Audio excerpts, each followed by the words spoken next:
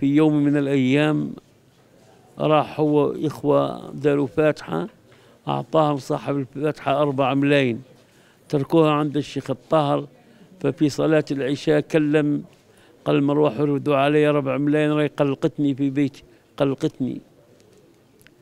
فهو مضرب في الزهد وإمام في الزهد. أما إذا تكلمنا على مساره العلمي أنا جلست ودرست عنده في السبعينات كثير ولا يمل ولا يتقلق ولا يتعب في إعطائه للعلم. كان يبدأ الدرس على الخامسة على الثامنة صباحا يلقي حتى للساعة منتصف النهار وهو واقف. يشرح الموطأ يشرح الألفية ابن مالك يشرح الرسالة. يشرح كتب والمتون للطلبة.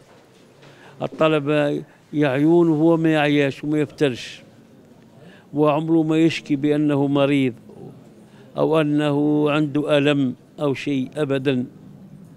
وإذا مشيت معاه يحاول حتى لما يكون تعبان يسرع في المشي حتى لا يظهر بأنه تعبان أو كذا. يعني مثله يعني مثله لا أقول ما كانش ولكن أقول يعني مثله قليل قليل جدا جدا جدا جدا.